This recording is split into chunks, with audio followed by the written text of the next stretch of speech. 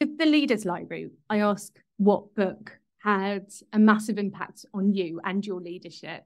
And you have given me, I've got it here, the first 90 days critical success strategies for new leaders at all levels. And that's by Michael Watkins. So, how did that enter your life and what did it do for you? Yeah, so I I found the book when I was searching for books to help starting a new role. I, I was moving into a new role. I had a I had a period of time where I was still in in my previous company, so I had some I had some space between leaving that role and and starting the new one.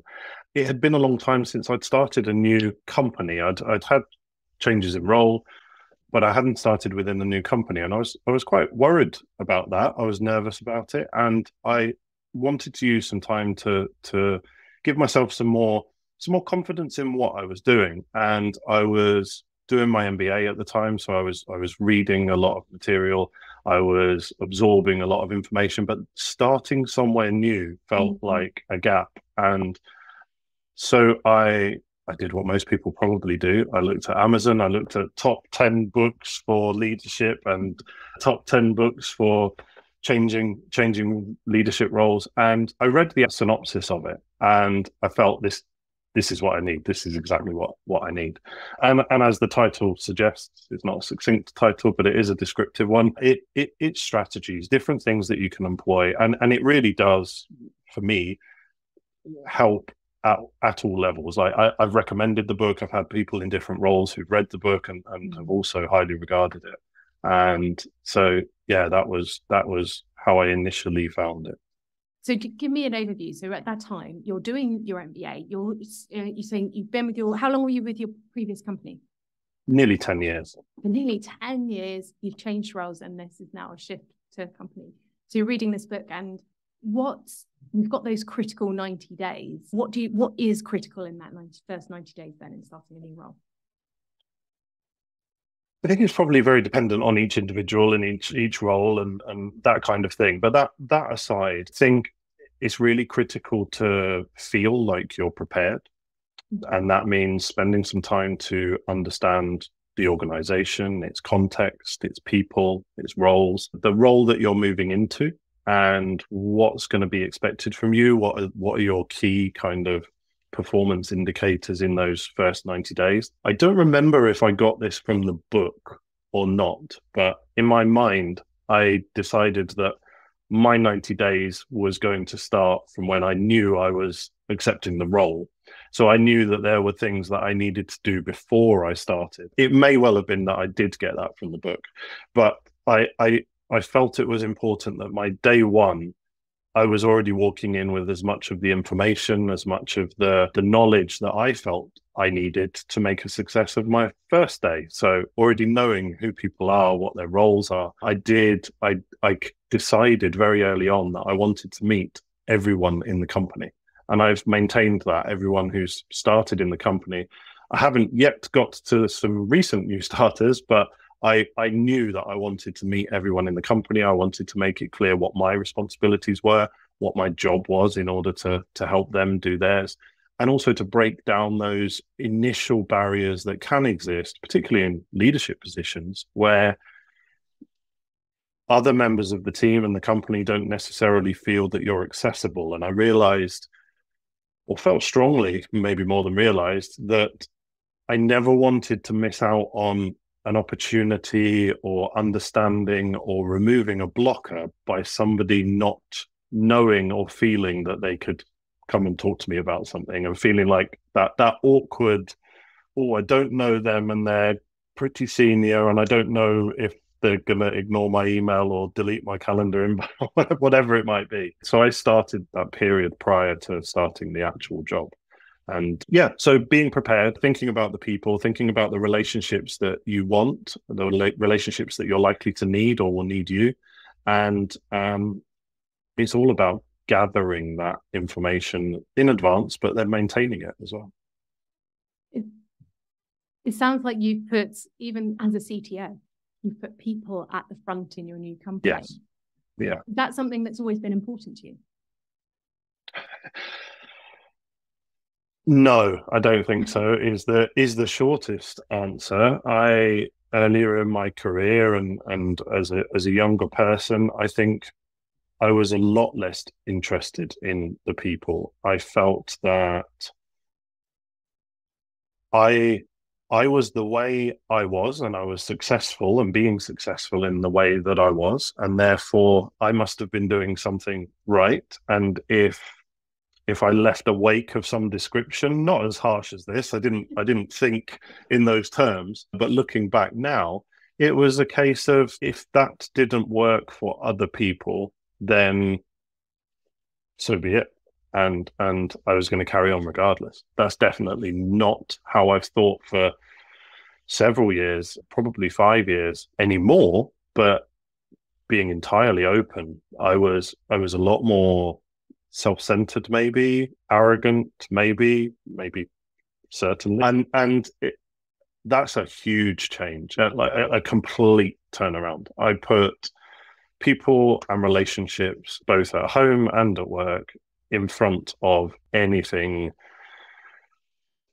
tangible, anything physical, then I honestly think that people are what makes an organization or breaks an organization and and as i say that organization might be at home you know family unit mm. uh, you know whatever whatever it might be it, it really is we we are people and it's interesting you say as a cto a lot of people think that those involved in in technology are less perhaps comfortable or keen on the relationship side of things.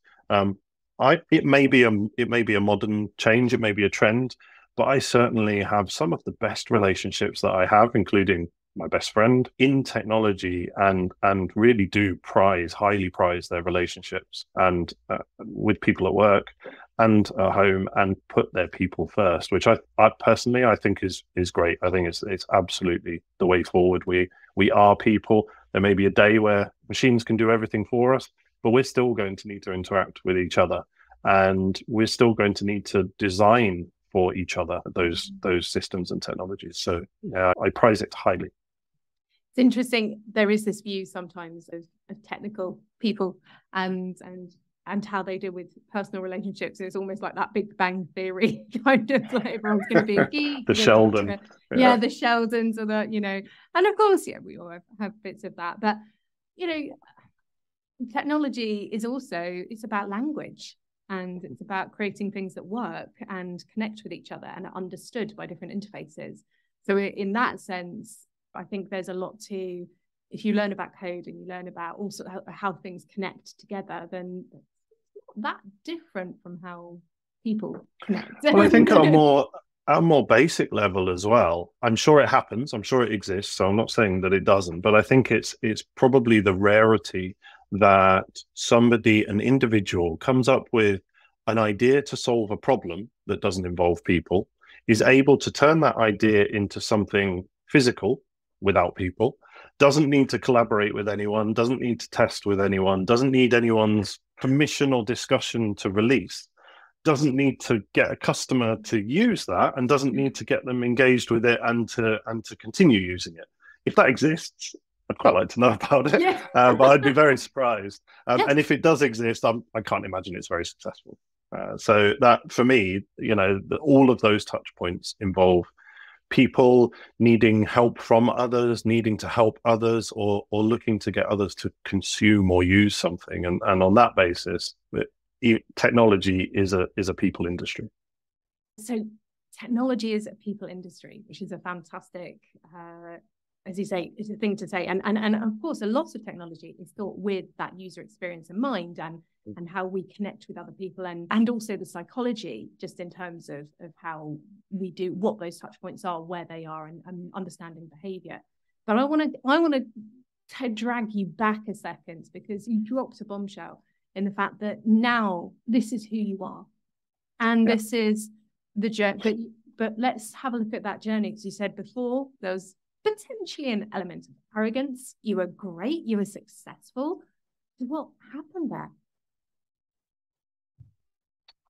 That's a really good question. I don't I don't know if there was a single realization moment. There might have been. There was certainly there were certainly some in my personal life which which made me think about my impact on others.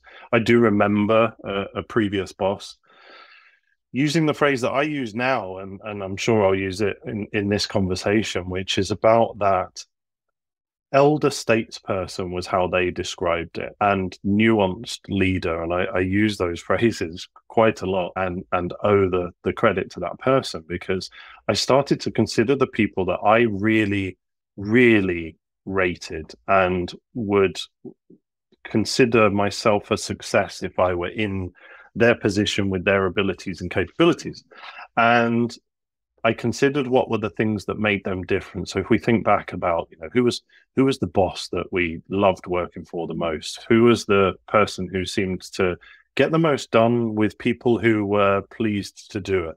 And I and then I considered my own experiences and from my own perspectives, a single look out from myself out out to others.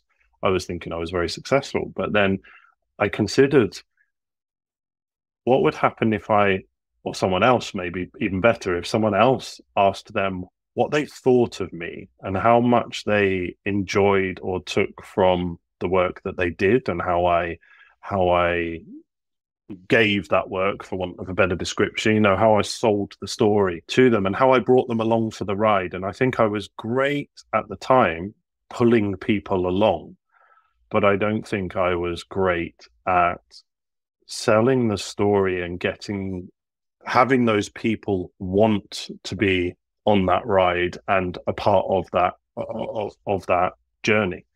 And i realized that i was quite away from where i wanted to be and there was quite a difference in that. You say you think that people didn't want to be on that journey. Whatever what were you seeing that was giving you that thought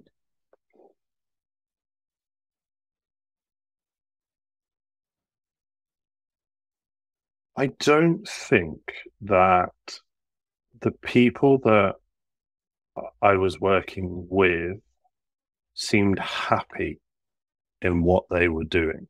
I didn't know they weren't happy. I didn't know that they didn't want to be on on that journey. But I didn't feel that there were obvious signs that they did and they were. Mm. And for me, that it, now I think about that differently because I'm talking about a, a, a point in time that was what I thought. Now, actually, I have, even if I was making those same observations, I would also be thinking about the fact everybody's different. Everybody processes differently. Everybody has different levels of energy, enthusiasm, how introverted or extroverted, where they get their energy from, those sorts of things. But at the time, I, I I felt like I was potentially doing something wrong. And what I didn't necessarily want to do was shift everything that I was doing, but what I did want to do mm. was to understand more about those people and what drives them and and what they do get excited about and, and whether they do get excited about those things and be able to flex that nuanced leader be able to consider and provide the things that motivate those people, excite those people, and and potentially get the best of those people in a way that they feel is meaningful to them. And that was the difference. I before it was this is what I want to do, this is what I want to achieve, this is what we're going to do. And I was I, I think I was always we're in this together. I was once on a major incident for over 20 hours. I was there with the team despite the fact that I wasn't the one needing to resolve that that issue directly because it was always a case if if I'm asking you to to do something I'll, I'll do it with you so I think I think in that respect it wasn't dictatorial or anything mm-hmm. but it mm. was definitely from my own perspective this is what this is what I need to do and what I need to achieve I'm excited by this so I'm sure you are too it, it does become quite transactional whereas yes for delivery, delivery of change, that kind of thing, then there's definitely much more place for making sure that you're self-aware and aware of others and your impact on others. I hear I hear the word impact a lot at the moment, and, and particularly in positive terms. The mm. impact that you have within a company, your your ability to to understand and generate impact for your customers, but that is a it's a two-way word. And that that wake that can be left behind you can be a positive one or it can be choppy seas. And making sure that you're aware of that and considering it when you're when you're dealing with people i think is very important. It's interesting sounds like you are seeing a replication of that that journey of self-awareness that you yourself have been on. And and we do see this, of course, because it's experience as a leader. We go through being, and, and you have to work hard. You know, in the early stages of a career, you have to pedal, you have to work hard. And, and as you said, you were successful. And, and then there's a shift where it almost becomes less transactional, but more about the fact I've got to bring all these people together. And and he used to say this was a slow, so there wasn't one boom, oh my gosh, if I don't have people on board, then everything's going to be a disaster. But it was a slow, steady awareness that you were going, oh, people aren't happy. And and when you said that, what it made me think of was Net Promoter Score, so mm-hmm. the NPS, and mm-hmm. and that that psychology of like if it's anything below a nine, then people are kind of like, mm, yeah, well, I, I wouldn't recommend people probably work here, but you know, we are like you, you need something to be a hell yeah. Would people um, be shouting from the rooftop about you kind of thing? And it's not about that from a from a narcissistic perspective. I think it's mm. about if you really want to if, if you take it back to transactional, if you want to be very successful in a transactional sense or hitting particular goals or objectives, actually how much more successful that is if you if you have your people on board and if your people will will will follow you. And sometimes it might need to be we just need to do this.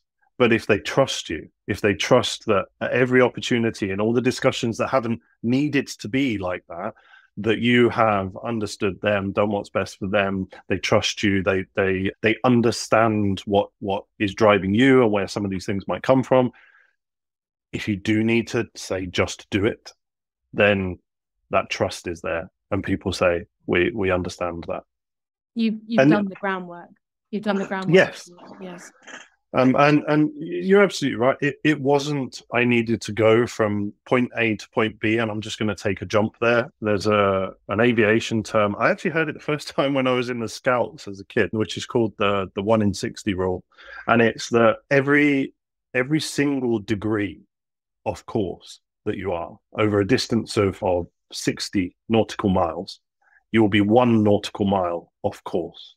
So that that that gap becomes wider. That's kind of seen as a negative thing, obviously, because you're going to be off course. It's not where you want to, not where you planned to be necessarily.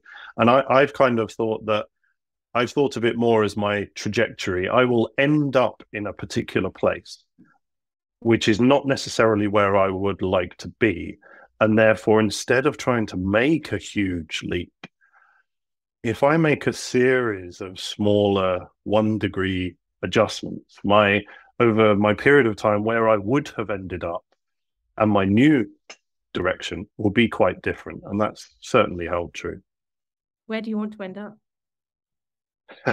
Destination? I honestly don't know. And I like that. So I, I have a plan. I know what my next steps are. I know what I would like to be doing next, the kind of roles, the kind of companies, the, the ethos and cultures. I, I know all of that. Doesn't mean it will happen, but they're, they're kind of what I what I'm aiming for. But in terms of a destination, I don't have or think I want a destination. What I would like to do is continue considering what I'm doing now, what I would like to be next, and, and perhaps the step after that as well. So it's not necessarily just just one step. But if I have a thing that I want to get to, and I, and I always use the phrase a, a dream. There, there are there, I have dreams. There are things that I would love to to have or do. I don't necessarily want that thing. I want it to always be just out of reach because that's though that that's what drives me to consider what I'm doing, what I'm doing next, and to aim like a moonshot, you know, to, to aim for the moon, and I will get as far as as I can along that along that way. Um, and to use a cliche, yeah, sorry, yeah. What when you say a thing, Can we? Uh, what kind? Can you give us an example? What kind of things? What kind of things are these moonshots? Okay, I will confess, and my and my my wife will laugh at this, I'm sure. So, I have for a very long time had a dream of owning a Porsche and a very particular Porsche. It's you know, it's it it's something that I would love to own. I would love to have and and dream of. Often look at pictures, send them between my best friend and I, uh, who who has a Porsche and had a Porsche previously, and um, we had the opportunity for my 40th birthday and before we were doing some some other things my wife sort of said you know 40th birthday you know kind of time that maybe you could consider that kind of that kind of thing. And it, and it's not incredibly expensive. So i don't I, I wouldn't want anyone to think that that it's something like that. It, it's achievable. And i said no i don't want to. I, I kind of i wouldn't know then what to i don't think i would enjoy the necessarily the the ownership as much as i enjoy thinking about it. And what do you do then? You've you've achieved, you've ticked the box. And I think you might always or would be at risk of never being happy by mm-hmm. potentially moving on to the next thing, being disappointed that your dream hasn't lived up to the reality. And I think about that in the terms of my career, my personal life as well. I'd like to aim for the best that I can be because if I get to a particular target and and think that's my my potential, probably like winning the lottery. That it's great and it's wonderful, and it probably brings a lot of unhappiness with it as well because you can buy anything you want, you can do anything you want, you know, and and and in your in your career you've achieved, you've done. Everyone looks at you and, or you yourself in your own mind and say, "I've done this," and then what? That's what that's what doesn't excite me. It sounds like almost that the that pursuit, that traveling of and the enjoyment of. But it, it does make me wonder because, of course, when we can be goal driven and and you, know, you are goal driven, and at work you've achieved many goals do you ever take that time to stop and enjoy it does it always feel a little bit like when you get there oh um, I think it's an incredibly good observation. And if I am self-critical, which which I can be, if I if I I probably don't acknowledge the achievements and successes that I have had as much as I probably should, or maybe because should is like according to who. Yeah. But I probably don't as much as I would benefit from. And I think it is something that I do try to think about. And I'm reminded of it because it's not my natural way. I forget about it until mm. a conversation like this or when I'm saying something similar to someone else because I'm I'm a lot better at observing that and acknowledging other people's achievements and successes. So I would certainly take that comment or suggestion on the chin. I think it's I think it's fair, and I think to be to be better, one of the things that I should do is to acknowledge what actually when I look back on my my career and the things that I have achieved and, and I have achieved with all of those people around me, what we've mm. achieved collectively has there's there's been some really really great stuff in there. But I think that that part of that comes from age, experience, as you say, less arrogance. You can you can consider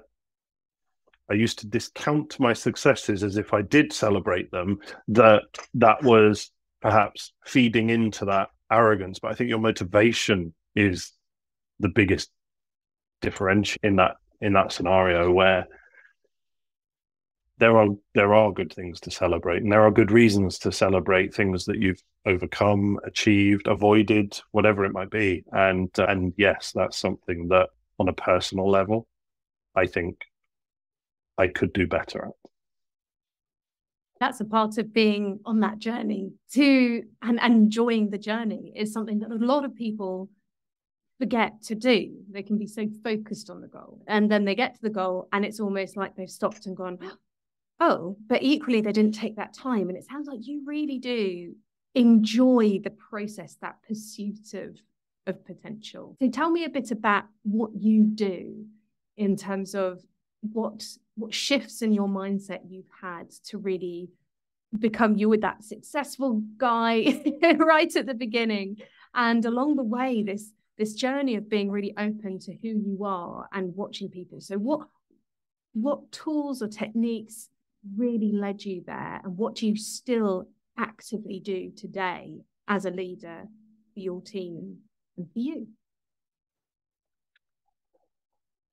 I think the biggest thing is probably one of the one of the oldest management leadership books, or, or you could put it in that category that I've read, which was the How to Win Friends and Influence People, which I'm sure is in your library. And if it's if it's not, I'll change it and add that one in there as well. because there, there's a phrase in there, and I, again, I might not quote it directly, but be genuinely interested in people. And I think if you if you really are interested in people, that that doesn't necessarily just mean you're interested in what kind of house they've got and what books they read and, and that kind of thing. But actually, more almost more importantly, you're interested in what motivates them, in what excites them, what scares them, what things would they like to change or or help or improve, and what tools and experience and and support you can offer to help with that. And I, I genuinely think that if you are interested in people, you will achieve a lot, regardless of what you're trying to achieve. And you might not achieve the thing you're trying to achieve, but you will be achieving something. Whereas if you try to achieve a, at a task or a particular outcome only, you're definitely not going to get as far or in a way that, like I said before, brings people along for the ride. And I, I say that a lot. I say it at work and, and at home. Like, yes, as a leader, you are leading, one that is leading. But if there's no one with you, then it's kind of it's a it's a lonely leadership. and I'm not sure you can really be leading nobody. In terms of tools, talking to people, understanding people, or asking questions, you know, trying to understand people. I wouldn't profess to say I understand the people that that I'm referring to, but I certainly try, and I certainly spend that time meeting with them on a group level, on a one-to-one level, talking about personal things, talking about work things, and explaining the context of whatever it is we are trying to achieve. And I think that's something as well. I certainly would explain well where we needed to get to.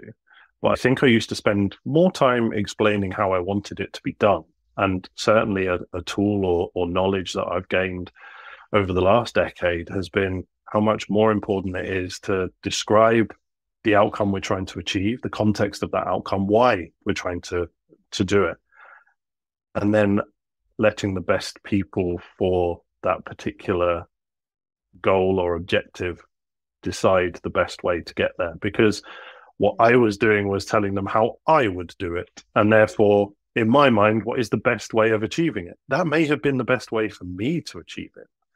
But that individual who's a different person with different experiences, different different methods, different brain entirely, may have a better way of them achieving it. And I'm one person.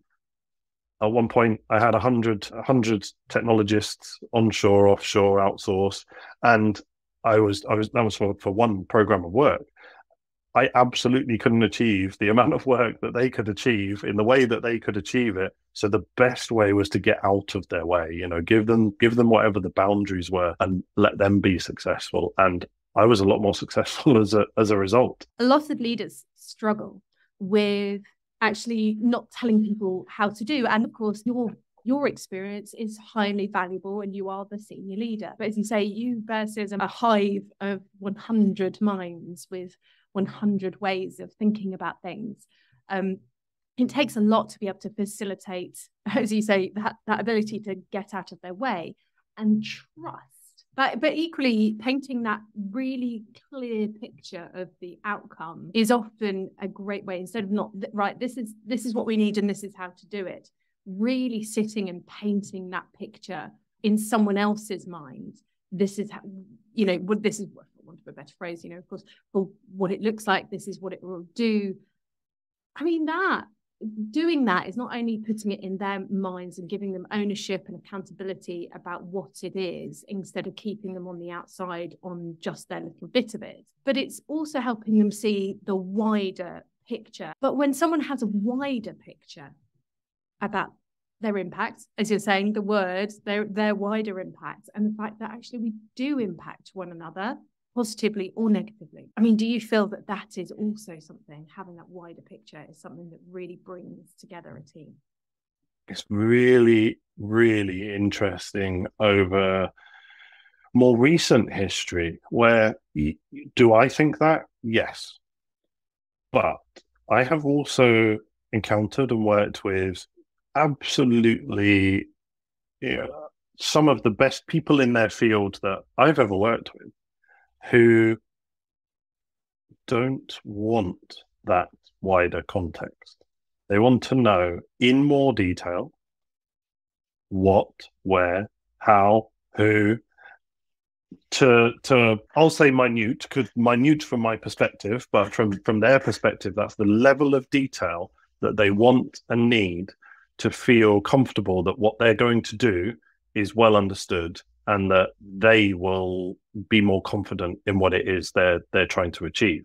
And they don't want to know what's on either side of that because and what they're doing is so detailed and what they're doing is so complicated and part of a complex problem or environment or whatever it is, it is where there are things that are outside of their control as well that looking too widely means that they can't focus on that level of detail. Mm.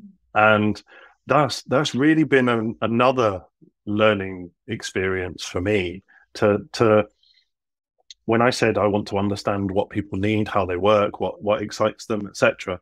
Part of that has been learning what it means when you are in that that mindset and in that environment, and and that is your role to for me to consider that in in what I am explaining and not give them superfluous information from from their perspective. So looking at who you are and who you are as a leader,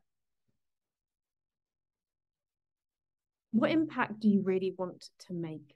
I got into the earliest part of my leadership experience in team leader and then into into management roles. And i was i was asked very early on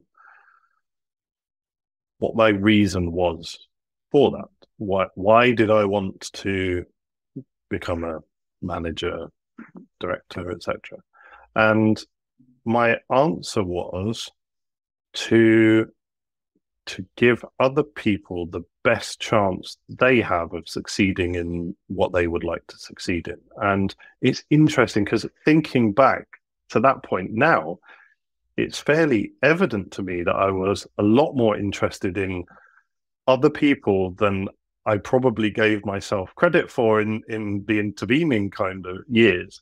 But that was my reason. And I think that I think that still holds as true today as it did then. And enabling success, whether that's of a product, of a customer, of the team, of an individual, that really is what I would like to continue to to have as my kind of raison d'etre or my my what what drives me to to do the things that I do. So yeah, I think using my skills and knowledge and experience to enable the success of others and be the be the catalyst for that or certainly a, a, a, prompt or an enabler or or whatever you would like to call it that that underpins what, everything that i do So I've got one last question for you. When I asked you your details, you put in the fact that you were a, a recovery and rescue diver. well, I am I am qualified in that. Oh, qualified. Yes, in that, yeah. yeah. So I love diving. I absolutely love diving, and have not done it for several years, and it, it, it does grate with me that that I haven't been able to. But yes, I did. I did several qualifications in diving, and one of those I, I I loved it. I did underwater photography, shark anatomy and physiology, and one of them that I did was was recovery and rescue diver, which which I actually used, needed the day after I think it was I qualified, where somebody else on a diver, an inexperienced diver, panicked and decided to inflate their BCD, their their buoyancy device, and um, were shooting up to the surface, kind of lost control, gas expands as you get nearer the surface. So they're going faster and faster.